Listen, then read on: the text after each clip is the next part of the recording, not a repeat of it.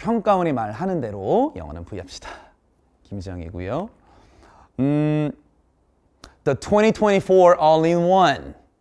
아, 이제 또 새로운 시즌이 시작이 돼서 여러분들에게 OT로 출발을 좀 하겠습니다.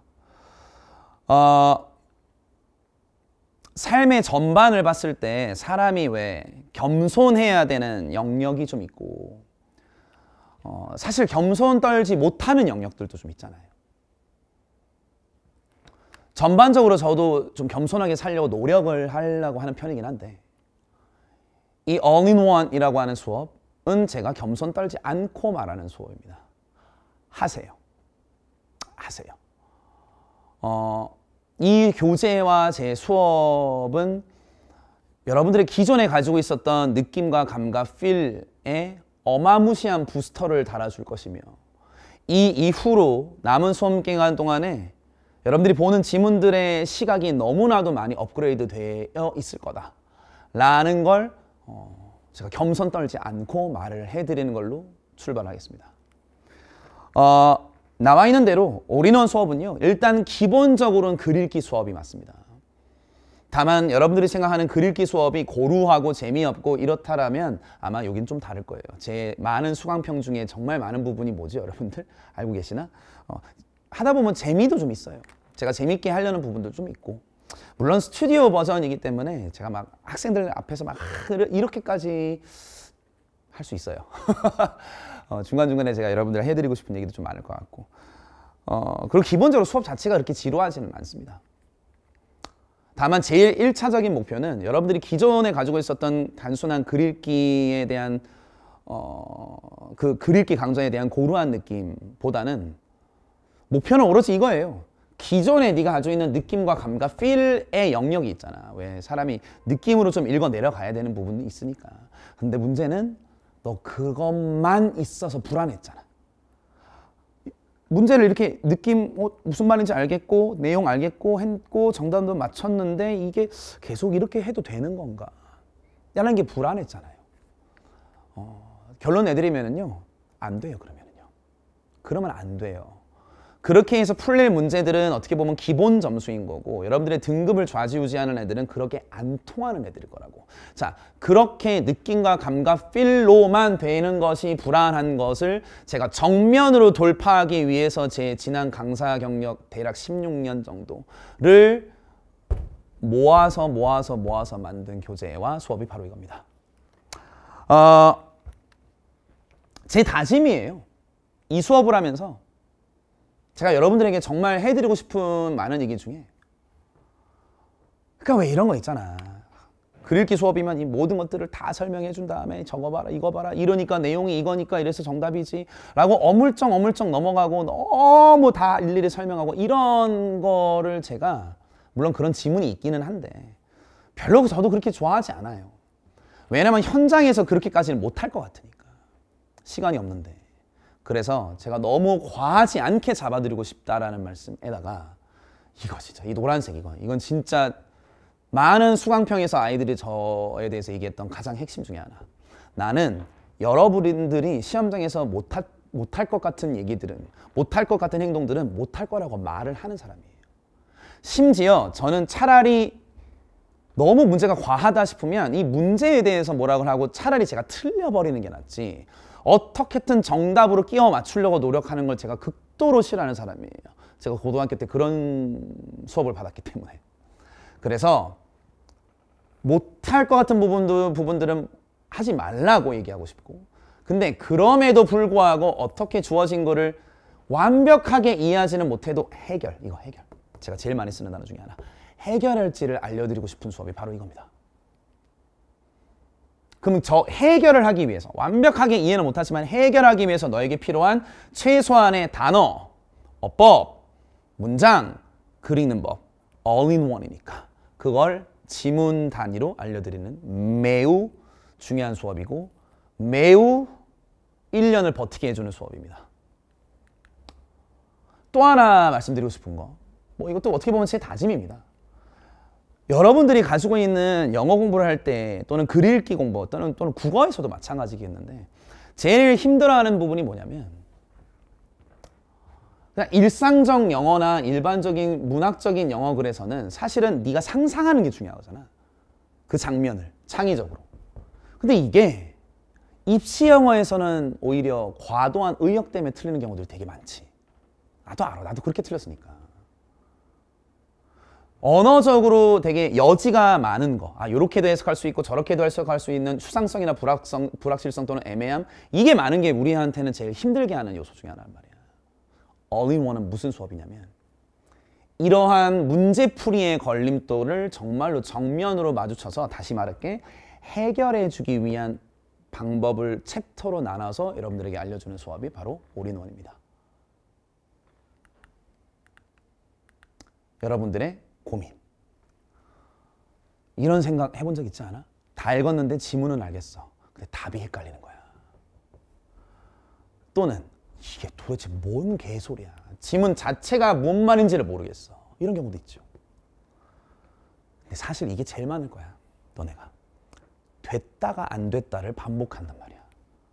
자, 이게 얘들아. 물론 이제 단어를 너무 모르고 해석이 너무 안 되는 친구들을 제외하고 어느 정도는 내가 학교 교육에 충실해서 나름대로 공부를 했는데 자꾸만 문제풀이에서 이런 경우의 수들이 좀 많다. 어, 올인원의 제일 메인 타겟이 바로 이 세 부류들. 이겁니다. 사실은 제가 지금 1강을 찍고 나서 OT를 좀 찍는 건데 그때도 제가 이 얘기를 너무나 세게 많이 얘기했고 그걸 샘플 문제 1번 통해서 아마 보시게 될 거예요. 자, 올인원이라 그랬잖아요. 그러면 주요 사항이 다 한꺼번에 어떻게 보면 집약적으로 돼 있다라는 교재이자 수업인데 크게 세 가지로 나눠서 제가 한번 여러분들을 한번 좀 테스트를 한번 해볼게요. 이런 분들은 이 수업 들어야 된다라는 테스트입니다. 단어와 어법과 문장 단위로. 먼저 단어 한번 좀 볼까요? 2020 평가원에 나와 있었던 문장이거든요. 빈칸 문제에 나왔었던 문장. 자, 일단 여러분들 파우스 버튼 누르시고 해석이 잘 되시는지 한번 해보시고 자 저는 갑니다 저 단어 얘기하고 있어요 여러분들 혹시요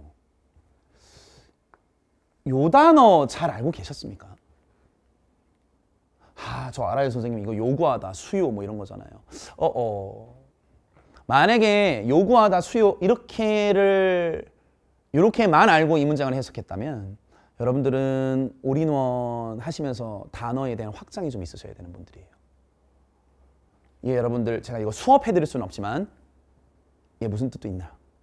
요구하다도 있긴 있는데 하고 demanding, demanding 하면 형용사거든요, 얘들아. 형용사로서 부정적 뉘앙스의 힘든, 어려운이라고 하는 단어가 좀 되셨나? 그랬을 때 해석해 보면 게다가 상상해 보세요. 얼마나 힘든지 그렇게 되는 것이 항상 모든 가능한 용도들, uses, 용도들을 고려하는 게 얼마나 힘든지를 생각해봐라 라고 해석하셨어야 돼요. 그리고 이게 빈칸 문제에서 핵심 문장 중에 하나였습니다. 여러분들의 단어는 안녕하십니까? 좀 더 볼까요? 어, 예전에 평가 문제에서 이런 주제의식이 있었던 글이 있었어요. 글 쓰는 작가들은 타인과 토론하는 분위기에서 글을 쓴다. 근데 이렇게 빈칸을 넣어야 되는 문제가 나왔다고 칩시다. 빈칸. 물을 좀 잠깐만 먹을게요, 여러분들. 미안해요. 이제 건조한 시기라서. 음. 미안해요. 작가들은 타인과 토론하는 분위기에서 글을 쓴다. 이게 주제의식이었어. 만약에 여기에 빈칸에 어떤 단어를 집어넣는다고 생각해보자. 그들, 즉 누구? 작가들은 이런 상태에서는 글을 쓰지 않는다. 그럼 빈칸에는 어떤 말이 들어가야 돼요? 한국말로, 그냥 한국말로. 다시 토론하는, 타인과 토론하는 분위기에서 글을 쓰지 쟤네들이 이런 상태에서는 글을 쓰지 않아. 라고 했으니까 위의 문장을 임용해서 만약에 집어넣는다면 타인과 토론하는 분위기가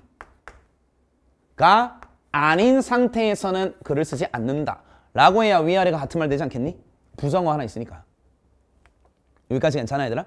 다른 사람과 토론하는 분위기가 아닌 분위기? 에, 나안 써. 그럴 때만 써. 푸, 토론하는 분위기일 때만 써. 이렇게 되는 거겠죠. 자, 나 지금 무슨 얘기하고 있다고? 단어 얘기하고 있어 얘들아. 이때 요 빈칸에 뭐가 나오는지 아니? vacuum. 이게 나와버렸어. 여러분들 단어 괜찮냐고요? 나 지금 여러분들이 이 수업이 필요한지 아닌지를 조금 조금씩이라도 좀 테스트하고 싶어서 그렇다는 거잖아. 너네 머릿속에 vacuum이라고 하는 단어가 여전히 음, 음, 이런 청소기, 진공의 이미지만 만약에 있다면 허, 그러면 여러분들 올인원 좀 하시면서 단어 확장 있으셔야 돼요. vacuum은 제가 수업을 다 해드릴 수는 없습니다만 단적으로 무슨 뜻도 있다? 고립 상태라는 뜻이 있어요. 단절된 상태라는 뜻이 있어요. 그러면 말이 되는지 봐봐. 다른 사람들과 토론하고 소통하는 분위기에서 글을 쓰지 고립 상태에서 혼자 글 쓰진 않는다는 소리야. 단어 안녕하십니까? 기출 어휘. 기본적으로 알고 있는 여러분들이 기출 어휘가 있죠. 베이큐움도 다 아는 거잖아요. 근데 문제는 그걸 그렇게만 알고 있는 게 아니고 추가적으로 여러분들이 알아야 되는 어휘를 보는 눈에 어휘력이 있어야 된다고. 자, 이런 단어 어때? 퍼즈 버튼 누르시고 쭉 봐봐. 어디선가 다 본 적은 있어야 되고 단어 뜻 아셔야 돼. 요 정도. 맞지? 근데 문제는 이렇게만 알고 있으면 문제를 못 푼다니까. 어디까지 가셔야 된다? 어휘를 보는 추가적인 눈. 이런 거까지 가야 돼. 아니 등 쳐먹어. 불평등. 영유아가 본능? 어? 속도? 이런 거라고. 물론 이 부분은 제가 본격적으로는 V 단어에서 많이 알려드리긴 하는데 올인원에서 이게 나와요. 모르면 선지가 틀릴 만한 것들이 어휘가 나온다고. 자 그래서 첫 번째로 제가 올인원이니까 그중에 어휘를 먼저 말씀드렸는데 여러분들이 이런 정도의 어휘력이 되지 않으시면 빨리 저랑 같이 공부하시는 게 더 낫지 않을까.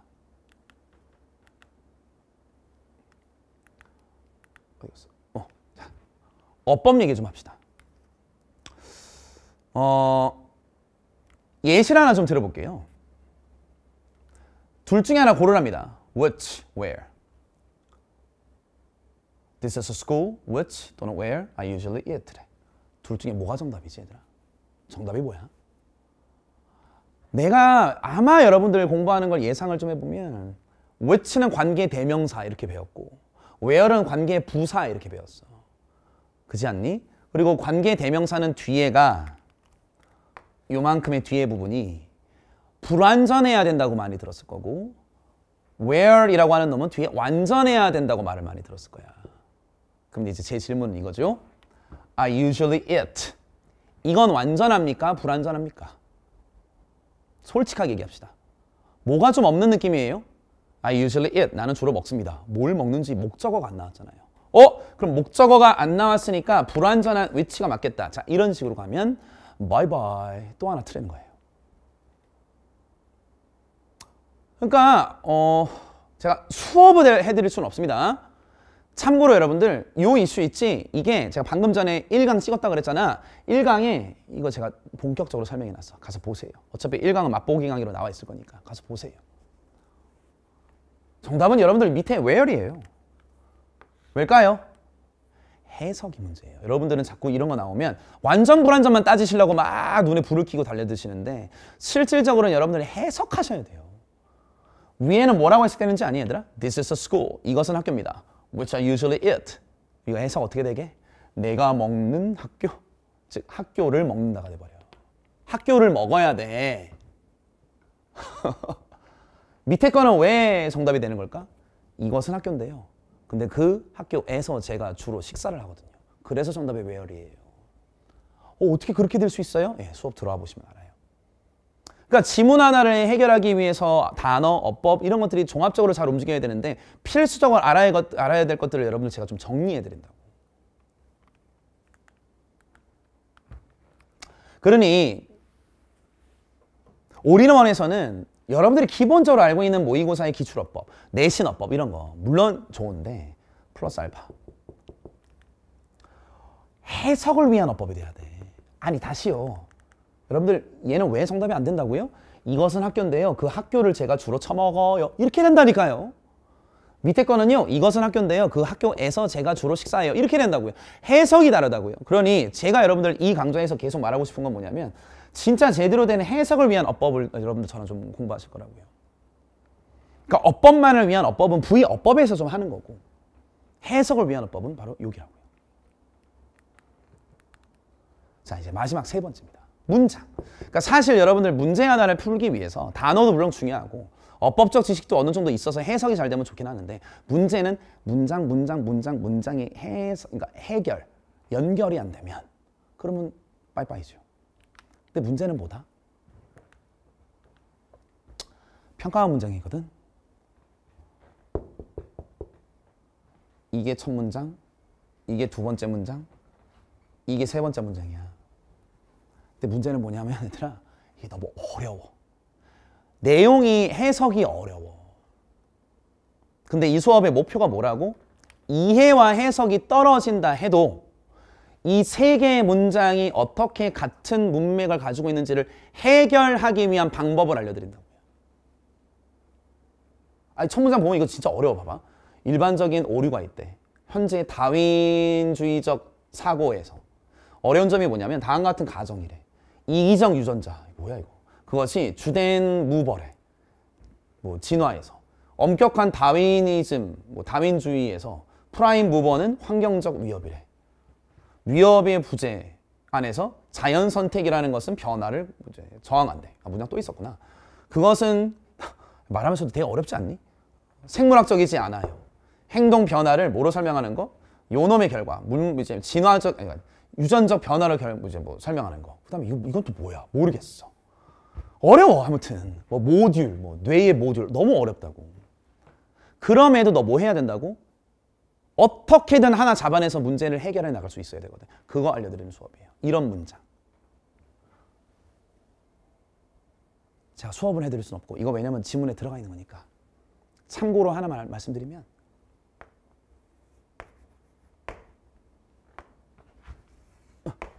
이거예요. 이기적인 유전자 때문에 진화가 일어난다라고 하는 가정이 있다. 뭐 이게 사실은 제일 핵심이에요. 이 무버라는 단어 때문에. 무버는 여러분들 그냥 움직이게 하는 것 말고도 원인, 동인 뭐 이런 거가 있거든. 얘들아. 계기 이런 단어가 있거든. 그러니까 얘 때문에 아 진화가 되는구나 라고 하는 그릇기의 틀이 빵 터지면 나머지는 솔직히 좀 쉬워집니다. 이런 걸 잡아드리는 수업이에요. 이 어려운 문장들의 해결법. 단순, 단순 해석력을 떠나서요.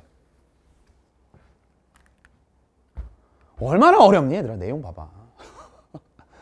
야 뭐야 이거? 어? 무슨 행동의 변화를 유전적 변화나 영역별 뇌 모듈의 무에서의 출현에서 기원, 기인하는 것으로 설명하는 것은 생물학적으로 많지 이런 걸 어떻게 할 거냐고. 진짜 뭘 날리고 싶죠 그냥 윽 이렇게. 근데 그걸 할 수 있게 만들어 드린다고요. 올인원은 바로 그런 수업입니다. 자 제가 지금 세 가지를 얘기해 드렸어요. 어느 정도의 어휘력이 있어야 되냐? 기출 어휘력에 플러스 알파. 어느 정도의 어법력이 있어야 되냐? 기출 내신 어법에 플러스 알파. 내신 말고도 해석을 위한 어법. 문장, 단순 해석력. 여러분들이 그동안 외웠었던 단어 등등을 통해서 정합해서 해석하는 단순 해석력 뿐만 아니라 실제 문제에서 너가 추가적으로 필요한 능력은 뭐라고? 문장을 어떤 시각으로 바라볼 것인가. 아까 제가 아까 화살표를 날렸던 것처럼 무엇 때문에 무엇이 되는가. 이기적 유전자 때문에 아, 진화가 가능한 그런 가정. 이런 시각을 장착하셔야 문제를 풀 수 있다. 그걸 종합적으로 문제 단위로 제가 해결해 드리는 수업이 바로 이겁니다. 2024 올인원은요. 어, 자, 솔직히 말씀드려요. 지난 교재와 크게 변화가 없어요. 지문이 몇 개 달라진 건 좀 있는데 제가 조금 뺏고 집어넣고 이런 건 있는데 크게 달라지지 않았어요. 혹시라도 기존 교재가 있는 분들은요. 기존 교재로 하셔도 돼요. 강의 안 날라갈 겁니다. 제가 왜 이걸 저는 이게 자랑스럽거든요. 여러분들 아 이제 새로운 버전이면 모든 게 새로워져야 되지 않나? 저는 그게 자랑스럽지 않아요. 저는 제가 지금 이 교재가 겸손 떨지 않겠다라고 자랑스러운 이유가 뭐냐면 이제 어느 정도 증명이 됐어요. 안착이 됐다고요. 그래서 큰 변화가 필요하지 않아요.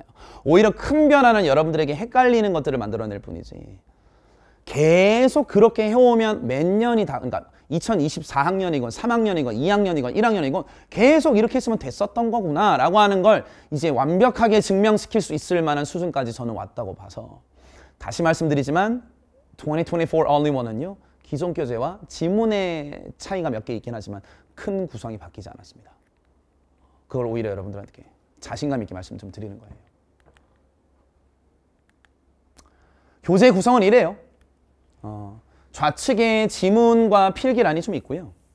우측에는요. 주요 네가 꼭 잡아내야 되는 문장과 주요 단어와 어법 구문으로 좀 더 봐야 될 것들 그리고 네가 배웠던 것들 중에서 다른 지문에서도 똑같이 나왔었던 복습 아, 이 특히 복습 이거 진짜 유용할 겁니다, 진짜.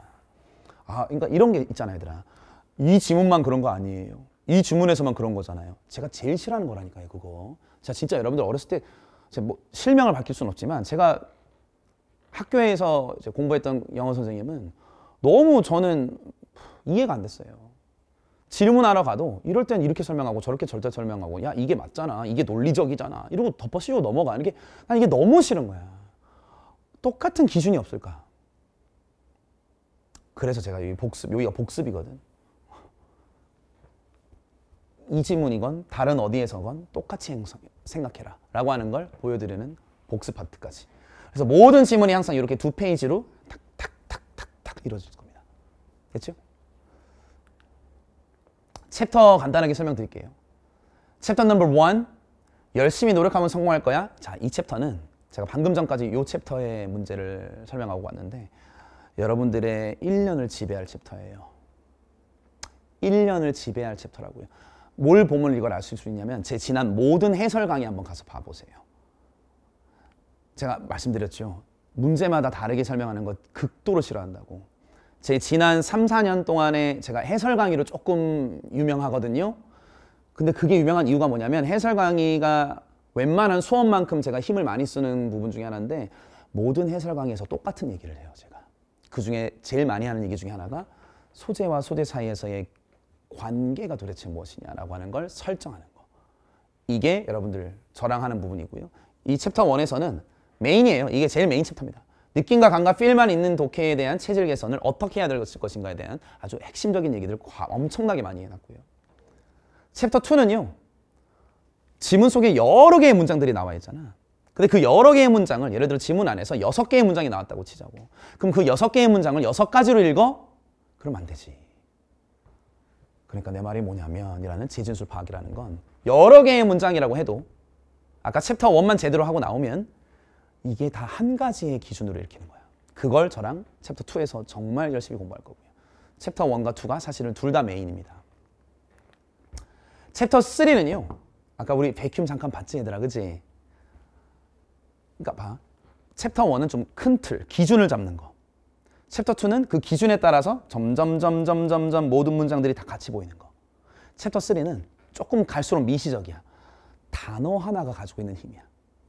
아 내가 알고 있는 단어를 이렇게 확장하니까 이렇게 지문이 빨리 풀리는구나 라고 하는 단어의 힘에 관련된 챕터입니다. 그래서 단어를 바라보는 본질적 시각을 길러서 지문을 지배하는 방법을 알려드려요. 아까 베큐처럼. 챕터 4는요. 표현하는 방식 중에 평가원이 자주 쓰는 방식 중에 부정어를 여러 가지를 써서 우리를 헷갈리게 하는 경우들이 많아요. 이렇게 막 피나는 노력이 없이는 실패를 벗어나기 어렵다. 이런 식으로 부정어를 여러 개 쓴다고. 근데 그걸 돌려서 말하는 필자의 표현 방식을 확실한 메시지로 좀 정렬하는 연습. 일반화시키는 연습. 그걸 저랑 하게 될 겁니다. 왜냐하면 이렇게 강조 구문으로 많이 쓰여서 이 문장이 주제 의식이 터질 때가 많거든. 챕터 4가 그런 쪽이고요. 자, 챕터 5요. 아, 요즘 핫한 놈이죠. 작년에 6월 평가원 31번이었던 것 같은데 제 기억에는 말도 안 되는 난이도의 내용을 가지고 있는 지문이 나왔어요. 아마 경도와 위도 관련된 질문인데 열대기후 막 이러면서 내용이 너무 전문적인 거야. 그러니 애들이 이해가 안 되니까 무슨 말인지를 모르는 거지. 근데 내용 좀 몰라도 괜찮아요. 평가원 영어 문제가 내용을 알아야 풀 수 있다라고 하면 그건 전문 지식 대회지. 그걸 어떻게 해결될 것인가. 모르는 내용에 함몰되지 말자 챕터. 본격적으로 이제 뭐 어떻게 보면 난이도가 좀 올라가는 챕터죠. 챕터 6이요. 앞에서 얘기했었던 것들 말고 되게 작은 부분들. 글 속에 들어가 있는 디테일을 잡아내서 글 전체에 해결하는 유해랑 동으로 사용할 수 있는 부분이 어떤 것들이 있는가. 그러니까 그래서 이 말을 쓰는 거야, 얘들아. 평소에 쓱쓱 넘어갔던 작은 부분을 조금만 의식하면 얼마나 그게 쓸모가 있는지를 보는 챕터이기도 하고 동시에 극상의 난이도 문제를 뒤에 몇 개 좀 넣어놨습니다. 이제 어느 정도 우리가 방법을 알았으니까 이쯤 되면 고난이도 지문들은 어떤 식으로 해결하는 건가. 까지 해서 총 6개의 챕터로 여러분들과 함께 할 거고 제일 뒤쪽에는 워크북이 좀 들어가 있을 건데 얘들아. 워크북은 저는 개인적으로 워크북을 새로운 지문으로 집어넣는 걸 별로 좋아하지 않는 사람이에요. 음, 1년에 입시에서 가장 여러분들 태도적으로 중요한 거 하나를 뽑아라 라고 얘기하면 지난 세월에 대해서 책임을 지기 위해서 했던 걸 완벽하게 하는 걸 여러분들한테 난 강요할 겁니다. 그래서 워크북도 깨끗한 똑같은 지문을 제가 작은 글씨로 뒤에 집어넣었어요. 그래서 그걸 가져다가 여러분들이 능동적으로 인식하는 연습을 하는 거, 즉 복습용이죠, 복습용. 됐죠? 참고로 복습은요 어떻게 해야 됩니까? 복습 방법 알려주세요 라고 하면 인사말 가보세요 거기 써놨습니다 알겠죠? 써놨습니다 아 근데 여러분들 지금까지 제가 이러쿵저러쿵 얘기는 했지만은 사실 제일 좋은 건 뭘 거냐면 해보는 거야. 근데 그냥 해보면은 또 교재비가 아깝고 그럴 수도 있으니까 제가 맛보기 강의에 첨부 파일을 올려놓을게요 여러분들. 강조한 거기에다가. 첨부 파일 놓을게요. 딱 1강 1번의 문제, 문제 파일을 올려놓을 테니까 그 문제 파일을 한번 풀어보시고 와서 경험하세요. 근데 참고로 여러분들 이것만 들어도 아 내가 지금 영어 공부 그냥 하면 안 됐었구나 라는 걸 좀 느끼실 거고요. 그래도 의심스럽다. 여러분들 제일 좋은 게 뭔지 아니? 참 이 얘기하면 나한테 손해일 수도 있는데 제가 그동안에 찍어왔었던 모든 해설 강의 저는 평가원 교육청 해설 강의 빠지지 않고 다 찍, 는 아마 유일한 강사일 것 같은데 해설 강의가 미쳤어요 저는요. 라고 학생들이 얘기해 줬습니다. 제가 말하는 게 아니고 학생들이 많이 얘기해요. 정 그래도 의심되시면 이, 이전에 해설 강의 보고 들어오세요. 그러면 제 스타일 알게 될 거예요. 아, 저 사람이 저렇게 수업하는구나. 아, 진짜 수업이 도움이 되겠구나. 라는 건 방법은 많아요. 근데 그 전에 이거 한번 경험을 해보세요. 맛보기 강의로. 그게 제일 좋아요. 제가 백날 얘기해봤자 뭐합니까? 도움 되는지 안 되는지를 해보면 아는 거죠. 참고로 그 맛보기 강의가 좀 길 겁니다. 공부한다 생각하시고 들으세요, 여러분들. 이 강의를 할까 말까가 아니고 공부용으로 듣기 되게 좋단 말이야. 어, 빠질 수 없죠. 올인원 교재는 제가 좀 많이 신경 쓰는 교재이기도 하고 가장 겸손 떨 수 없는 교재이기도 하고 수업이기 때문에 음, 조금 더 하나를 추가했어요. 이거는 여러분들 교재비에 단 1원도 들어가 있지 않습니다. 제 모든 명예와 제 인생을 걸고 얘기할 거예요. 얘기할게요. 이건 제 사비로 다 마련한 거고요. 모든 올인원 교재를 받으시면 아마 교재 말고 이런 노트, 지난 세월 책임지기 노트라고 하는 것이 동봉이 돼 있을 거예요. 제가 여러분들한테 그냥 드리는 거예요. 다른 거 아니고요. 제가 아까 지나가면서 얘기했죠. 1년 동안 가장 여러분들 태도상으로 중요한 건 공부했던 것들에 대한 책임지기라고. 그걸 하기 위해서 복습 노트를 집어넣었으니까 활용하시면 되고 요놈의 활용법은 2021년 1월 달쯤에 제가 캐스트 영상으로 요 노트 말고 또 다른 책임 노트가 있었을 거니까 노트 활용법을 캐스트 영상으로 올렸어 얘들아 그래서 캐스트 영상으로 들어가셔서 좀 검색해서 보시면 돼요 그 영상 제목이 어, 지난 세월 책임지기 선생님이 책임 노트 만들었다 라고 돼 있을 거예요 아마 이거에 관련된 건 제가 한 번 더 찍을 거긴 한데 급하신 분들은 먼저 그 보셔도 상관없습니다 됐지? 근데 진짜 뭐 저는 개인적으로 좀 되게 놀, 개인적으로 놀랐던 게 이거 사실 별거 없어. 그냥 노트야. 그냥 노트야. 근데 이게 되게 좋았다고 하면서 더 달라고 하는 친구들이 좀 있더라고. 제가 이벤트를 좀 하기는 하긴 할 텐데 추가적으로 어떻게 더 보내드리고 이럴 수는 없을 것 같긴 해요. 근데 참 몰라. 하여튼 이게 또 굉장히 친구들한테는 좋았나 봐. 아 진짜 별거 없어요. 그냥 노트예요. 본인이 공부했던 거 정리하는 노트니까 활용을 좀 하셨으면 좋겠다. 자 마지막으로 이 얘기하고 저는 이제 여러분들의 1강에서 좀 마주치게 될 건데 제가 아까 시작하면서 말씀드렸던 것 같아요. 제 다짐 중에 하나가 뭐냐면 네가 실전에서 못할 것 같은 것들은 제가 이거 하라고 강요하지 않을 거라니까. 제 이따가 들어가서 보시면 알겠지만은 야 이 문장 야 이거 나도 못하겠는데 야 이건 너네 좀 이해 안 되지 않았니? 근데 이건 돼야 되지 않겠니? 라고 얘기를 해요. 제 모든 커리어는 항상 그렇게 수업을 해왔어요. 그래서 부디 제, 최소한 야 이건 돼야 돼 라고 하는 제가 말씀드리는 부분은 무조건 책임져 주시고 실전에서 못할 것들을 가르치지 않을 거라고 하는 제 말에다가 요거 하나 더 약속하고 전 사라질게요. 1년 동안 같은 얘기 해드릴게요. 그리고 여러분들 수강평 좀 많이 찾아보세요. 수강평 보라는 게 제 자랑을 통해서 보라는 게 아니고 수강평 가시면 이 친구들의 경험담과 과정이 나와 있어요. 처음에 어땠고 뭘 좀 더 했더니 어떤 일이 발생했고 뭐 했더니 뭐 했다. 그러니까 저는 여러분들 아무것도 안 보고 제 강의 들으세요 이렇게 말하기가 싫어서 그래. 맛보기 강의 듣고 확인해 보시고 이 제 수강편 좀 보셔서 어떤 애들이 있는지를 보시고 그리고 결정하세요. 왜냐하면 이 강좌는 강좌 수가 좀 많을 거거든 메인 강좌니까. 근데 그 큰 메인 강좌를 여러분들한테 무조건 하세요. 물론 아까 시작부터 그거 하라고 그랬나 내가? 무조건 하라 그랬나? 이게 앞뒤가 안 맞네 진짜. 아 이게 진짜 진심이야. 아까는 나의 자신감을 얘기한 거고 진짜 여러분들 인생이 달려있는 이런 선택에서는요. 아, 잘 보고 판단하셔야지. 잘 보고. 하지만 저는 어쨌든 처음부터 끝까지 계속 같은 얘기 해드립니다. 그게 많은 친구들의 수강평에서 나온 부분이긴 하니까 그거까지 알고 계시면 될 것 같아요. 됐죠? 이 뒤에는 없을 걸 아마? 어, 끝났네, 끝났네.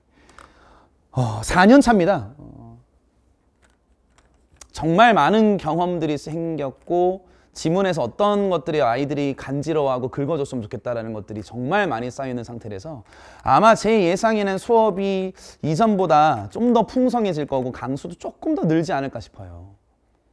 음, 똑같은 지문도 다시 설명할 때 더 많은 경험이 있다 보니까 여러분들 실전적으로. 저는 어쨌든 뭐 온갖 열정을 다해서 여러분들과 마주치게 될 거니까 음, 이어서 이제 1강에 가면은 제가 이제 이거 이 수업 이렇습니다라는 거좀잘 들어주셔서 저랑 정말 마지막에 승리의 V자를 그리고 나오는 그 순간이 오길 바랍니다. 저는 1강에서 여러분들 기다리고 있겠습니다. 김정이었습니다.